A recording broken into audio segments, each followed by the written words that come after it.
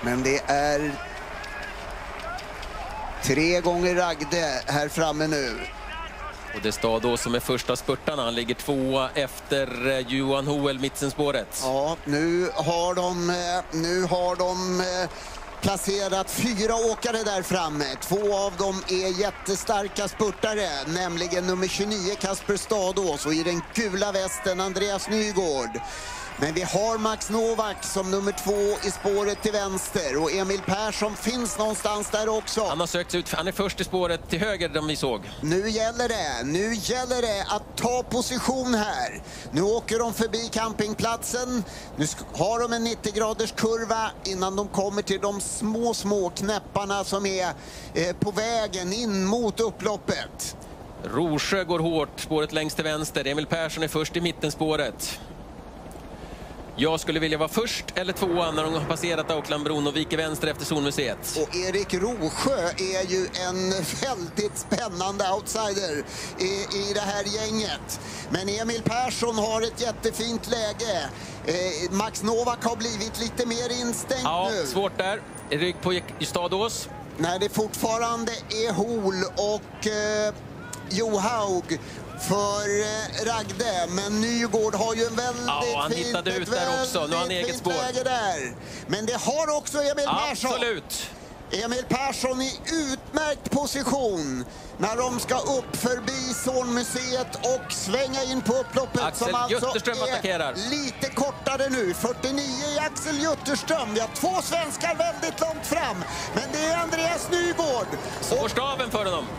Och bredvid spåret eh, fick Emil Persson gå, men han är inne i spåret och han leder.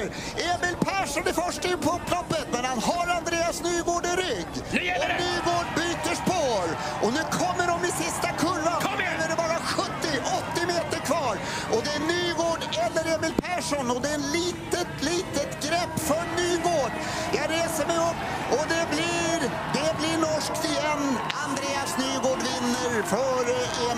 Larsson Persson och Axel Jutterström.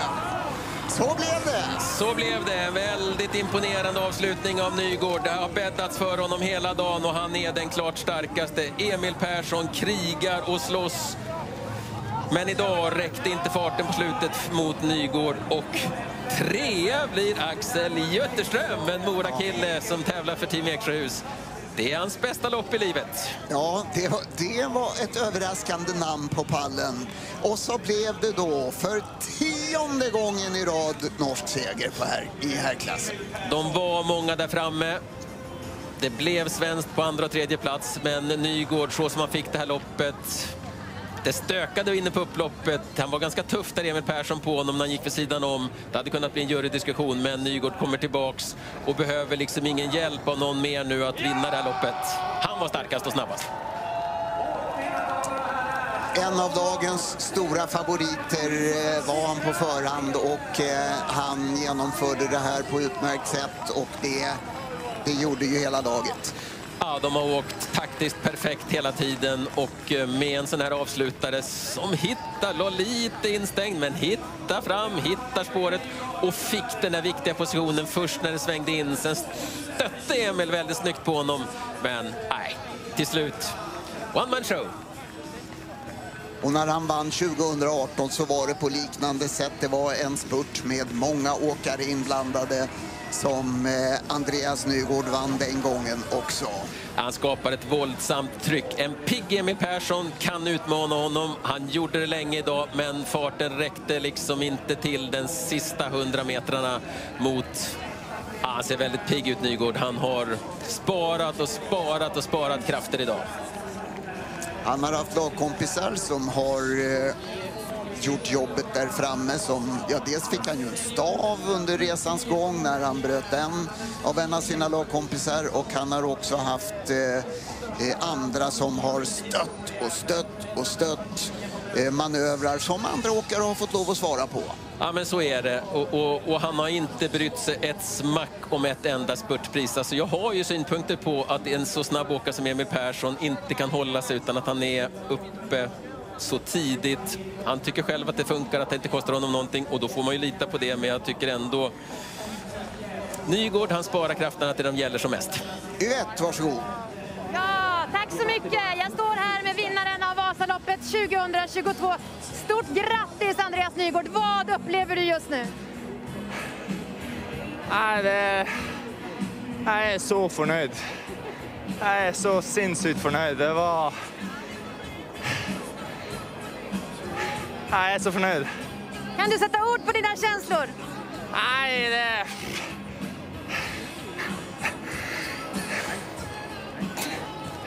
Ja, jeg bare Nei, det var mye hard jobb.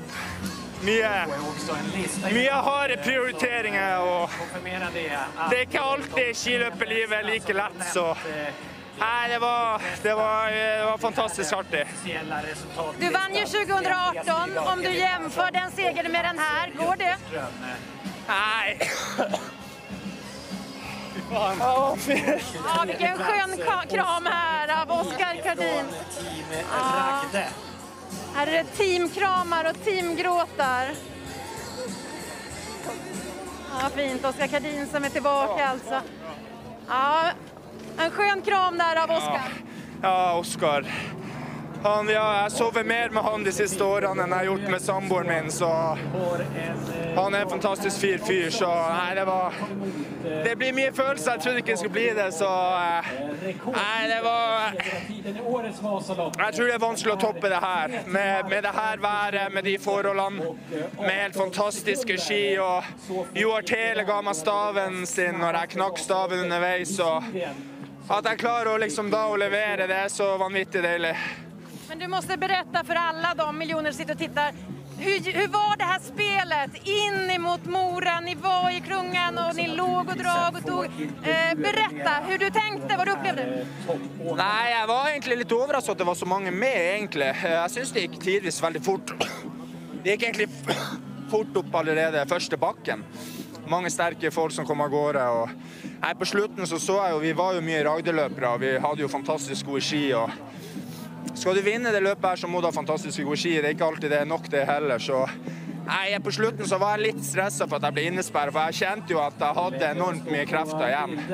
Gikk bare og venta på, på å bli ledig spor, og så kom Emil på høyresida der. Ja, exakt, hur var det här precis på upploppet? Ja, da var det litt sånn tight der. Og så med, men jeg kjente jo at jeg hadde veldig mye krefter igjen, og når jeg har mye krefter igjen, så, så har jeg ofte en bra avslutning, og, og det hadde jeg i dag. Vasaloppet firar 100 år och du firar ännu en seger. Eh, hur ska du fira det här?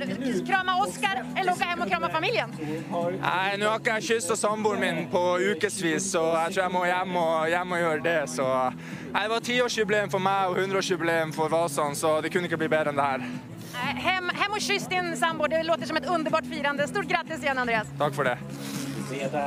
Ja, mycket känslor här nere. Mycket känslor förmodligen från eh, den som slutar tvåa idag också.